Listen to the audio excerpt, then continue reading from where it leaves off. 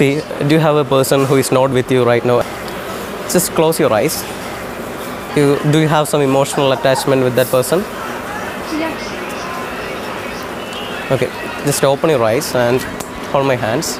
Here you can feel his presence. Just imagine like that, okay? Okay. Okay. And just ask him, Hi Barun, how are you? Barun? Yes.